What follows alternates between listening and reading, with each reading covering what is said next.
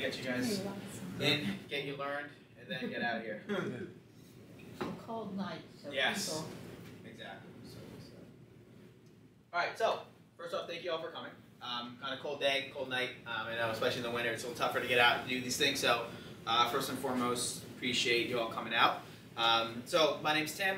Kind of stuff that we're gonna really go over today is just some tips, tricks, and suggestions to stay healthy, fit, and in shape for this winter.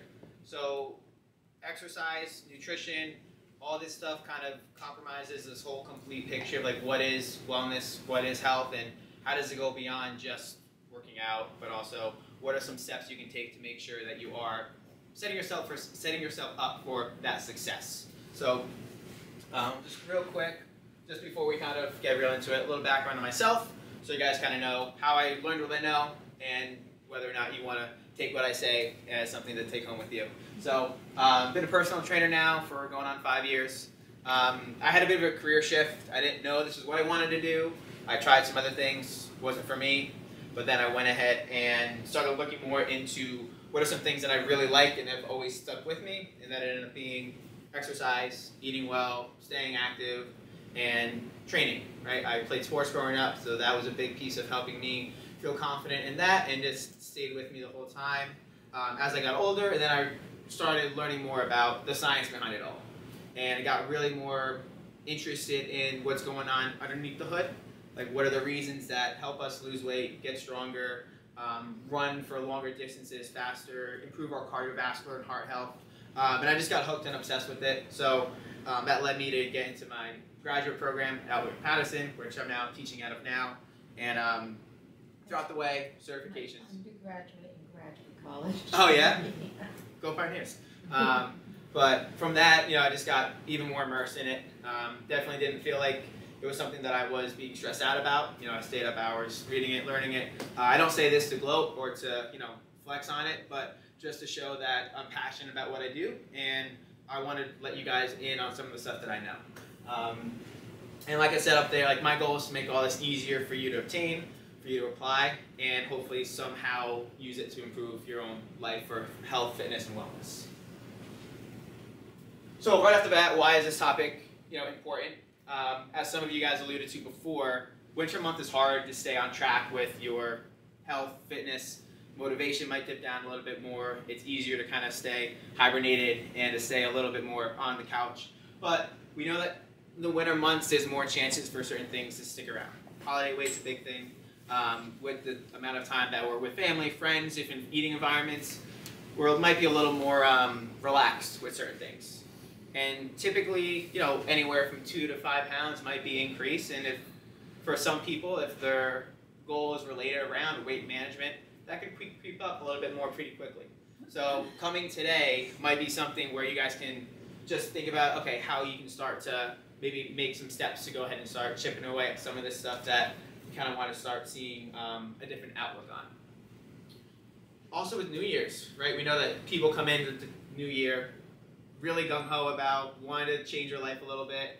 Um, but unfortunately, um, sometimes it's hard to stick to that when you get into the thick of it.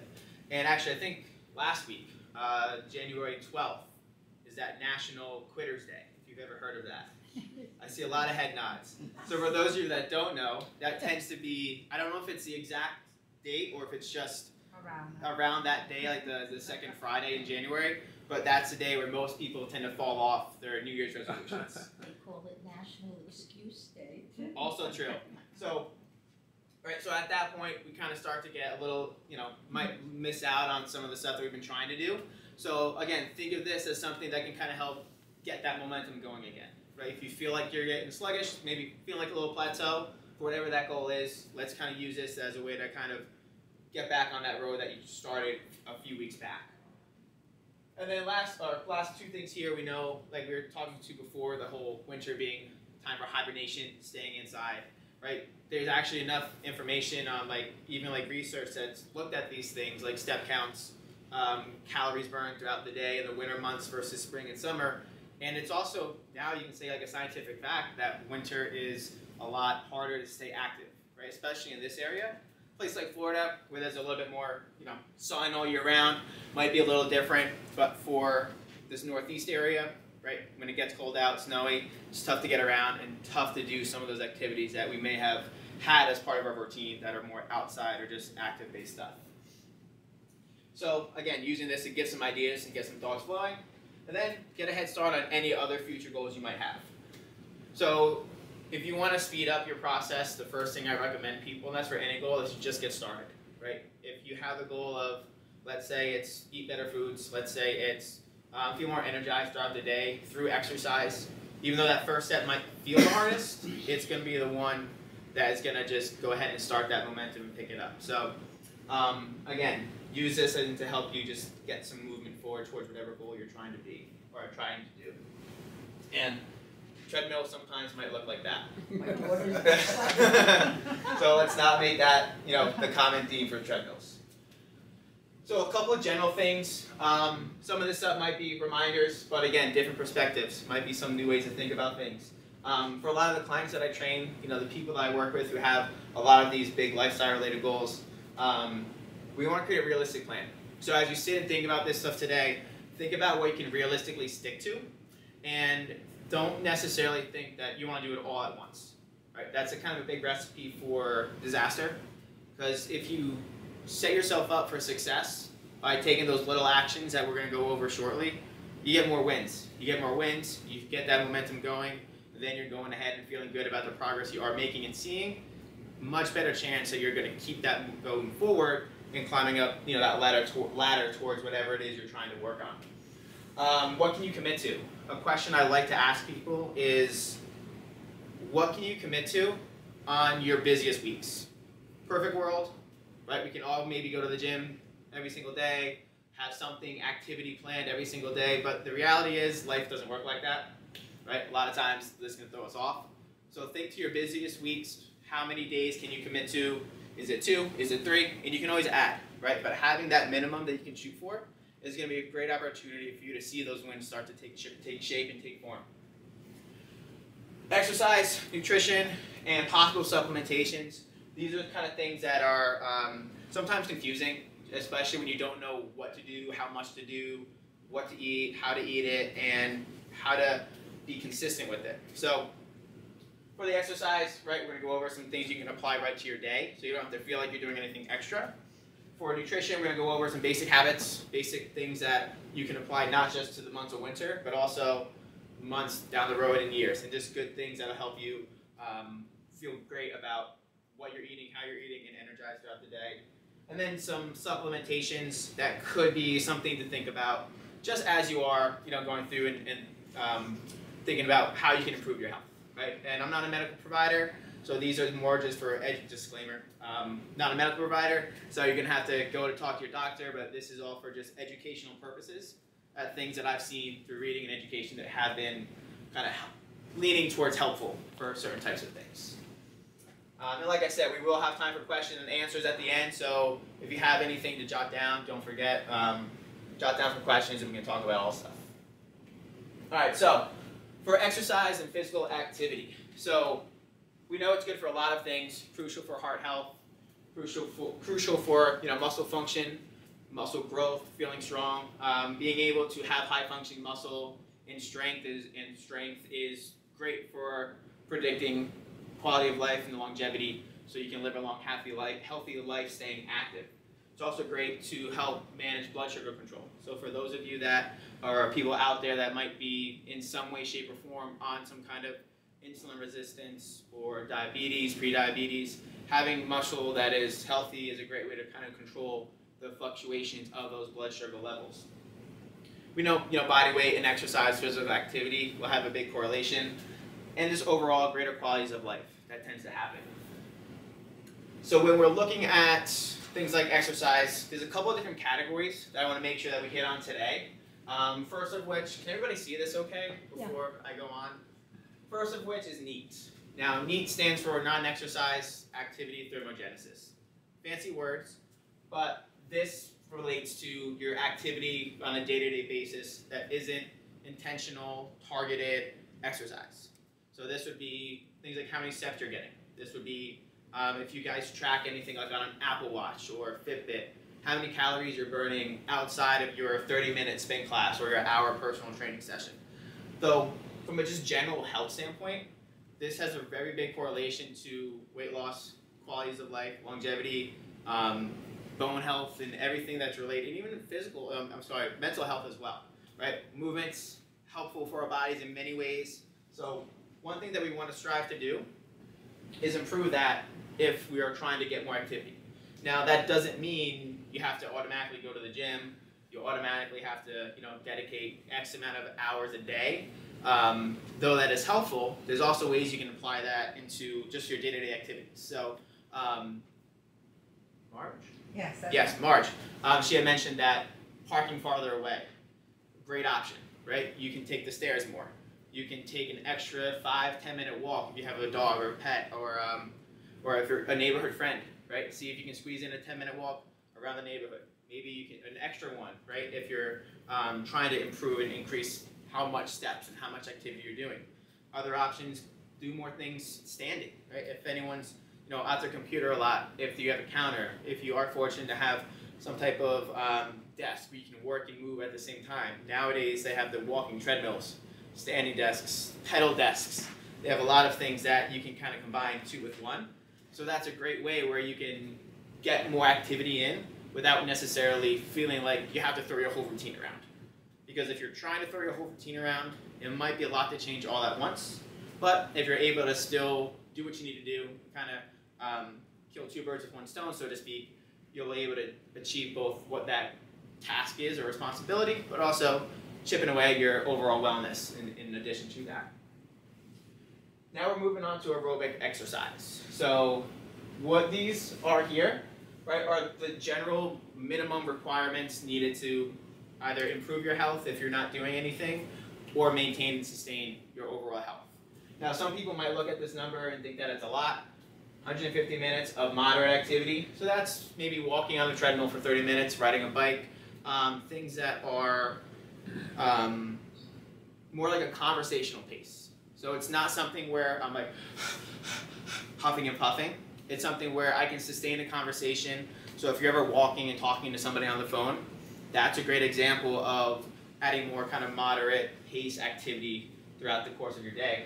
And this 150 minutes can be broken up kind of any way you want, right? You know, good rule of thumb based on what you have available It could be three days for 50 minutes or five days for 30 minutes, right? Everyone's got different schedules, so it's going to be kind of based upon what's going to fit with your routine and your day to day. But if if it gives you something to shoot for, right? Those are two options to help maintain just that active, um, uh, that, that activity for that targeted aerobic kind of exercise. This one here, that 75 minutes, that's a little bit more intense. So that would be something, uh, maybe it's not as easy, it's a little bit more effort. Andrew, right?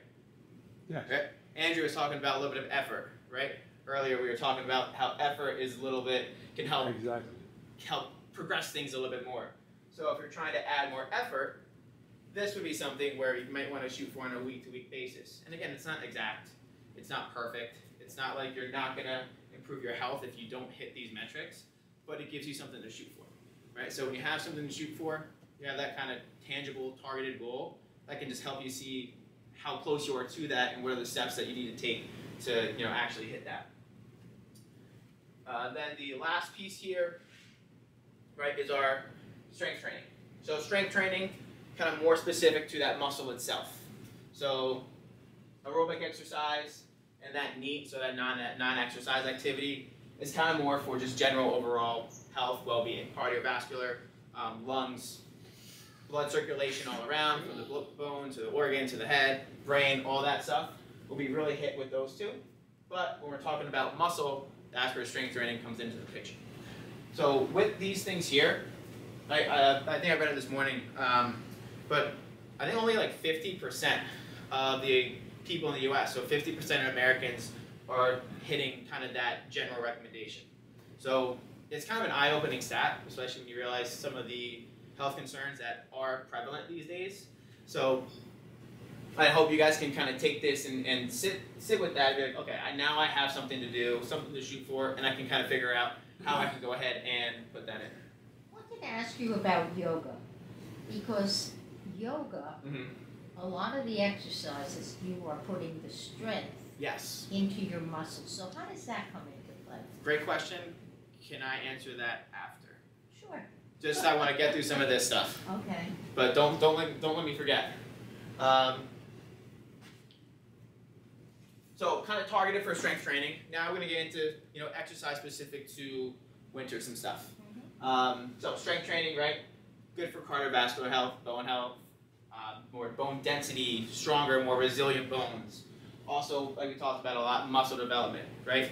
Um, Barbara, Barbara, you just mentioned like force, right? Applying force. Force is what makes muscle grow.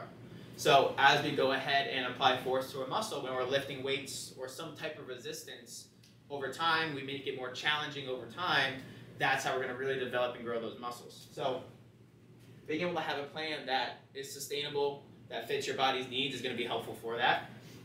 Can help with range of motion as well. So someone has stiff limbs, you know, they don't feel like they can move as well. Going through a, an approach to strength training that not only targets the muscles but also the joints as well.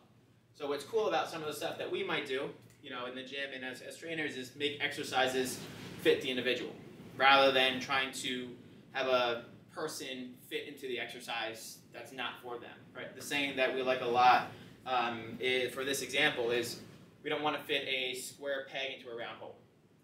So if the exercise isn't right for somebody, we'll find an exercise or find an adjustment to that exercise that allows you to improve things like range of motion, muscle, while feeling safe and making sure you don't get hurt. Um, keeps our metabolism active. So muscle, very energetic, um, demanding organ, right? It uses a lot of energy, needs it's always active. So those people who have higher metabolic rate, which is how many calories we're just burning throughout the day, tend to have more muscle. So more think of it as like the engine, right? The engine that really keeps your body moving, keeps your body working. And the last one here, right, can help reduce that risk of injury, right? I know you guys might see the picture of the person shoveling snow on the right, and if we've shoveled snow maybe recently, we know it's a little bit of a workout, right? It can be challenging depending on the snow, the type of snow. And one thing I always like to bring up is that when you go ahead and work out in the gym, apply a little bit of effort, you continue to work harder and harder in a sustainable pace, things like everyday activities start to feel easier, right? You can get into those positions a little bit easier. You have more ability to put force into the ground and come on up a little bit easier. So something like what might seem like, you know, why am I doing this? Right? That's a great example of why I want to have a good strong body so that I can use it throughout my life to go ahead and do these things and feel good doing them, doing them, feel safe doing them, but also do them, you know, without getting hurt. So I have some example workouts playing behind me.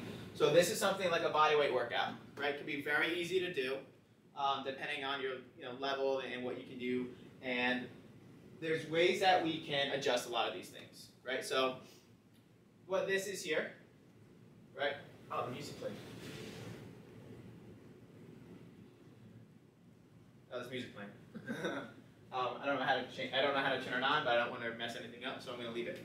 Um, but these are some just simple bodyweight exercises, right? You can put things like a chair underneath you if you need to reduce some range of motion. If you do have some stiff lower limbs, you can do things on a table, you know, bring the, it higher to you so you don't have to go down to the ground.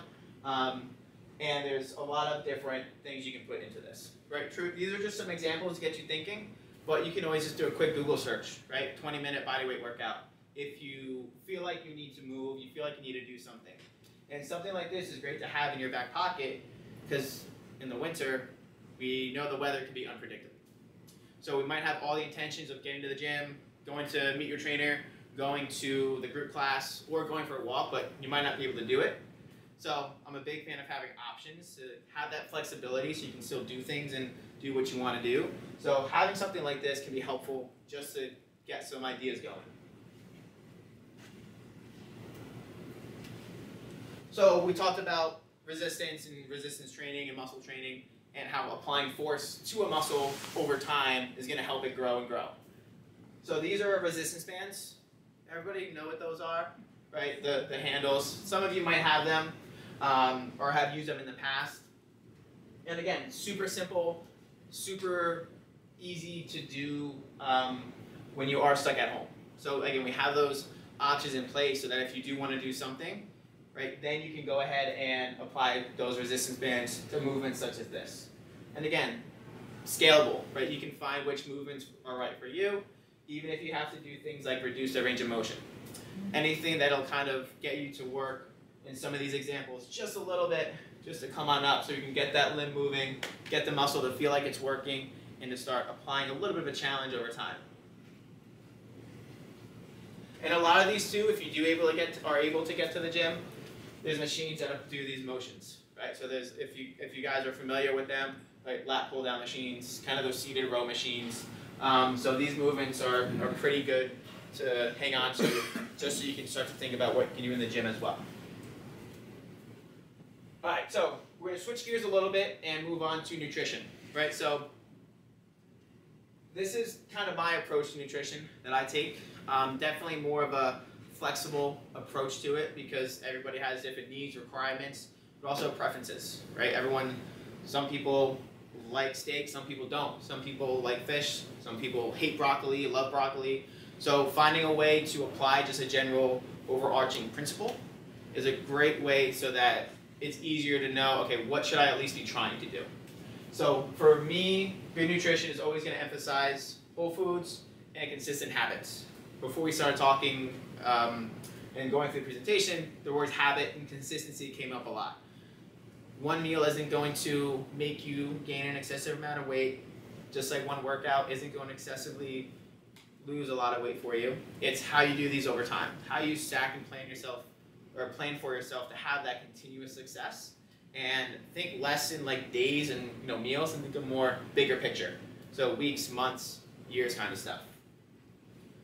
Whole foods have this big benefit because they are, for lack of a better phrase, made how nature is like intended to.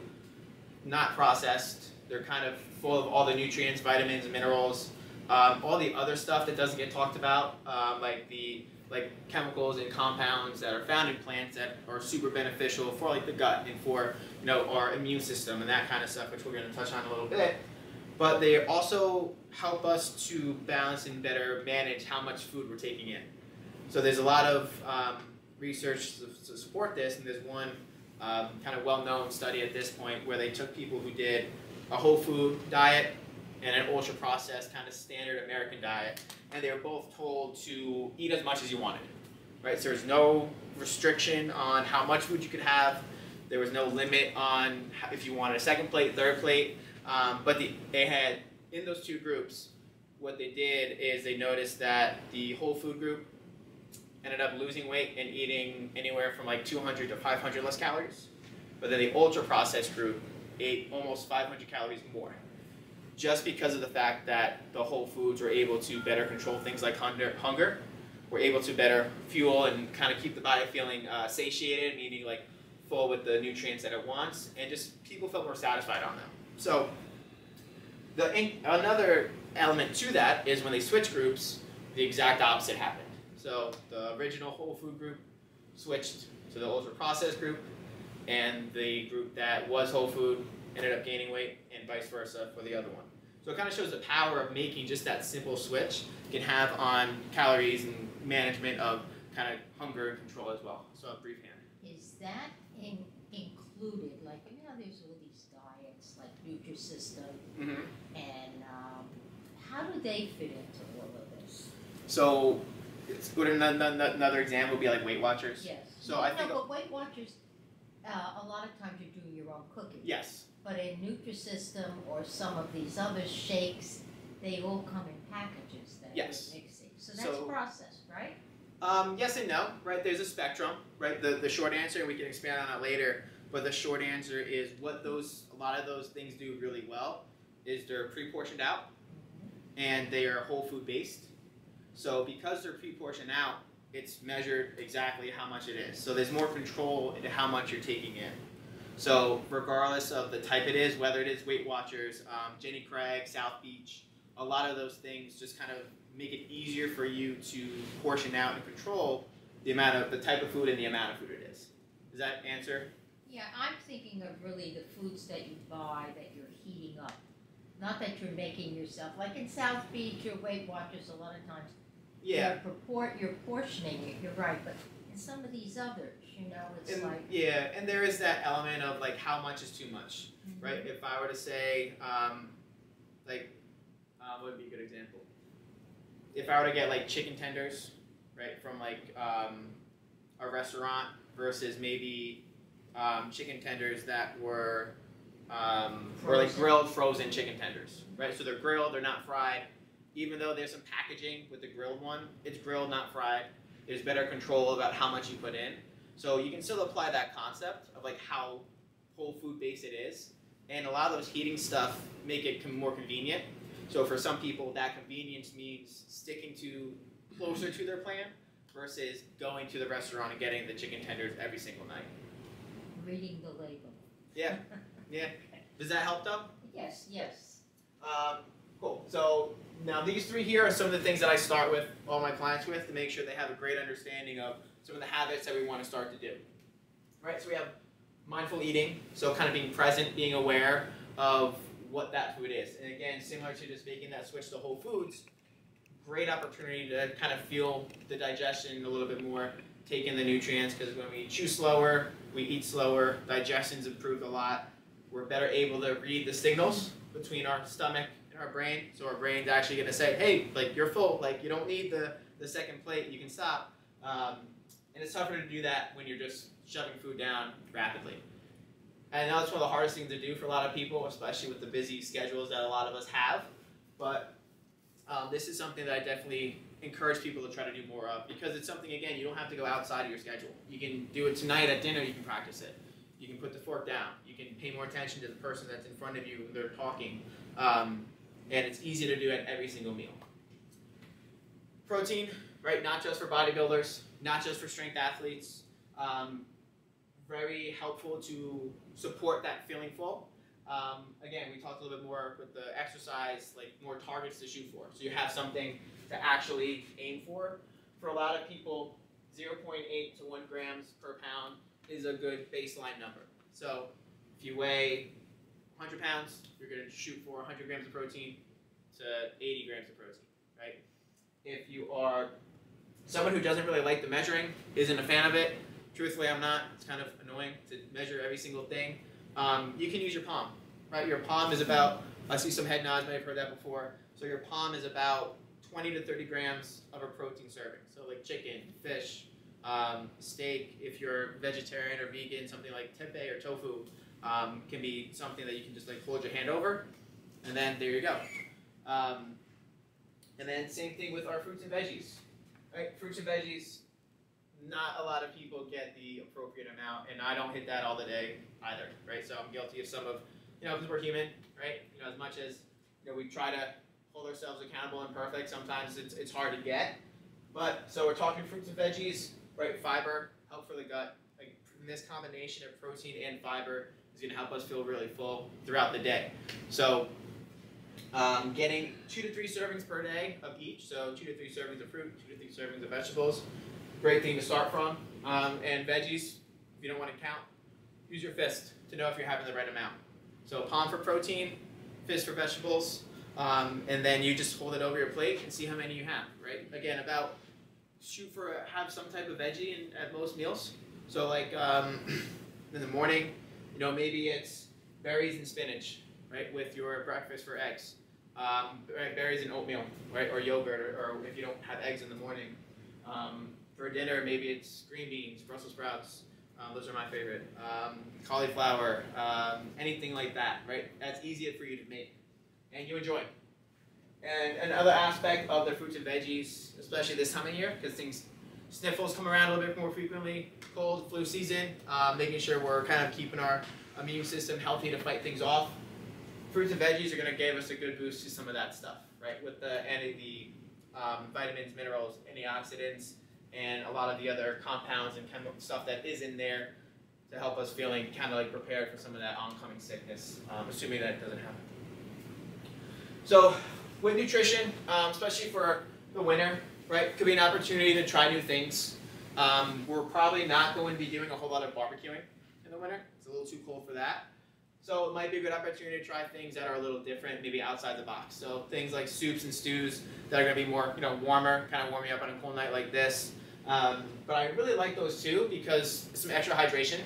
So if water throughout the day is a little tough for you, could be a nice little boost to your hydration status. So you get some soups and stews going.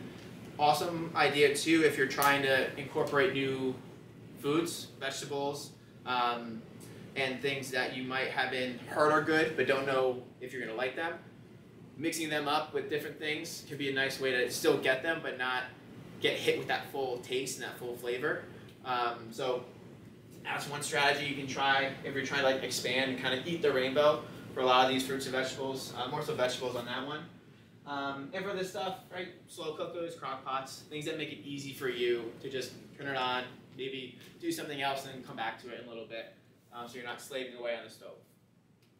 So I touched on a little bit about kind of the sickness and some of the benefits of fruits and vegetables. And some of the things that stand out kind of a little bit higher than the rest uh, this time of year in relationship to immunity and feeling healthy and not getting sick as much could be things like antioxidants. So if anyone doesn't know what those are, though they're just chemicals and substances that kind of help balance out things that are potentially harmful for our, our internal cell, so like cells and that kind of stuff. And it kind of just balances things out so things are more stable, generally speaking.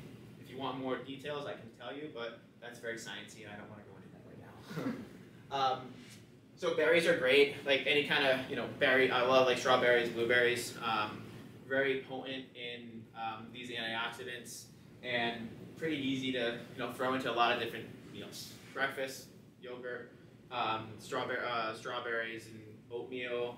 Um, you can make a smoothie, right? Smoothies are great options, even though they're on the colder side. But they're quick, they're easy, and you can get a nice boost of having some of these things in into your diet and your routine. Uh, vitamin C, right? Kind of like the most well-known immune boosting kind of um, substance and vitamin to have when it is, you know, sickness is coming around. But citrus fruits, um, like grapefruit, oranges, you know, bell peppers, broccoli, spinach, all very high in vitamin C. Um, and again, if you need to, like we can find other ways to get that that's not li- that's not listed there. So uh, vitamin C is a good one just to kind of keep tabs on, right? See if you're getting that throughout the, throughout the day. Vitamin E is one of those um, antioxidants that I've touched on before. And avocados, almonds, sunflower seeds um, all contain these. And this list is ongoing. Like these, not just limited to these foods. Um, if you want more, let me know. I'll send you a whole list of all these things. Um, but they wouldn't all fit on the screen. Um, and then other things that are going to have more anti-inflammatory properties: um, turmeric, ginger, and garlic. Right these things, kind of more spices, can add a flavor and add different tastes to you know some of the things that you are making. So three, know, one, you know, there's probably about almost ten options to think of to just expand how much of these sort of things that you are having. So I'm gonna email everybody this just so you have it, just a reference. So there's some recipes here, right? If you want to check them out, just to add some soups and stews. Um, I'm getting a little hungry now, so I'm gonna change the slide. Alright, so some potential supplementations. Um, like I said, not a medical provider, so I'm not prescribing you to take these. But these are some things that if you want to look into on your own, or just kind of discuss with whoever that medical provider is, these are some things that could just be a topic of conversation. So food's always going to come first. So when we make that switch to making sure we're incorporating a lot of whole foods within that diet, right, we're going to look to make sure that we're using supplements to fill the gap that can is from the supplements or the um, vitamins and minerals we're trying to get. What are we missing? What do we think we're not getting enough of? And then from there, see about some of the supplements that might be helpful.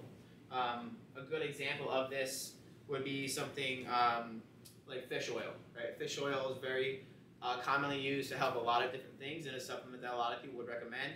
And if you eat enough fish, maybe you don't need to have the extra fish oil coming in. Not that it would be harmful, but it just wouldn't do anything more. It's that point of where more is not necessarily better. But if you know fish oil is healthy and you want to increase your intake of it, but you don't eat fish, then it might be a good option for you to maybe supplement once in a while. So specific to winter, right? Vitamin D is a big one. especially because we know vitamin D is kind of comes from the sun, right? How the sun hits our skin, and then it starts the conversion process. And when the days are shorter, it's a little harder for us to get outside. So uh, supplementation with vitamin D is going to be a good thing just to you know, think about having your back pocket. Then it's also going to be used for bone health and calcium regulation, so a little bit more you know sciencey physiology stuff there, but some more options than just the um, things that are listed there. And then vitamin C, like we said before, good for the immune system.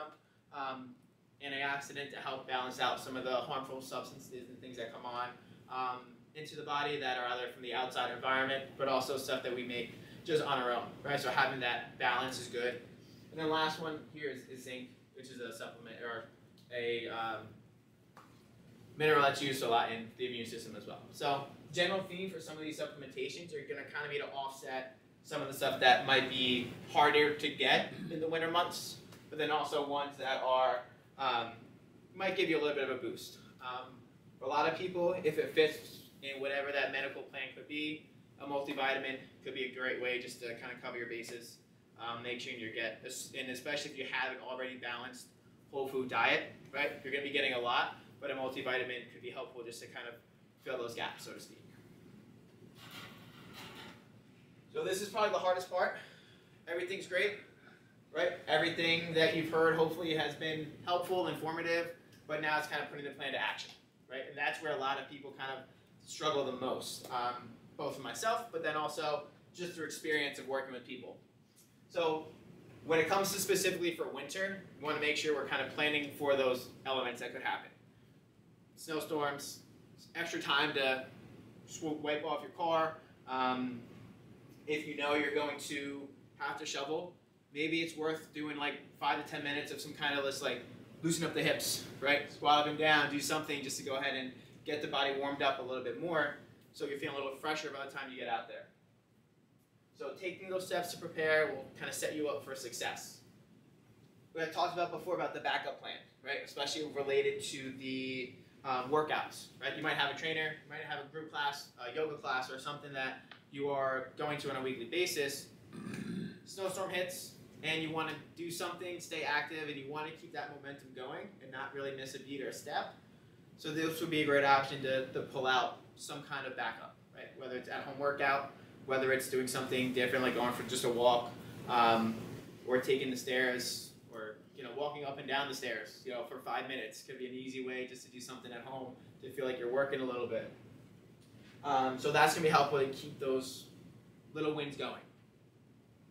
Share your goals with those around you, right? If you have someone who cares about you and wants to see you succeed and do well, right? When you kind of speak these words, they come real. They become real a little bit more. And someone, if you pick the right person, can hold you accountable. I can see just not in like a you know a, an aggressive way, but like, hey, how's the progress going? Make you think a little bit more. Okay, I can work a little harder on this. So things to, to kind of try, right? And then we have, you can bring a, involve a family member or friend, do it with the partner, right? Uh, we know with exercise and weight loss and strength gains and muscle building, you're going to work out and putting in, put in a little bit more effort when you do it with somebody, right? Nine times out of ten, that's going to be the case. So when you have that partner, when you have someone who you're working out with, uh, it's going to give you that, you know, maybe that little kick to really kick it up into gear.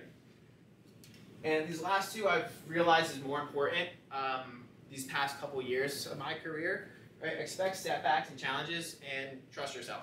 Right? We know things are going to be hard. Right? We know there's going to be points where you might not have the motivation, but you know when you expect that thing, right? You know what's coming and you know how to plan for it, and then you know how to overcome it. And once you overcome it once, you know how to do it the next time it could possibly come up. And the last piece here is really trust yourself. Um, and how you perceive yourself throughout this process can really help or make it impossible for you to improve your lifestyle.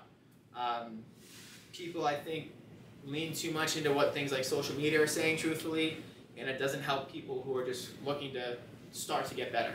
So, I think being able to find where you are making progress is a huge thing, and where you are making the changes that you said you're going to make is going to just keep you moving maybe more so on the days where you don't feel like you, you want to do anything.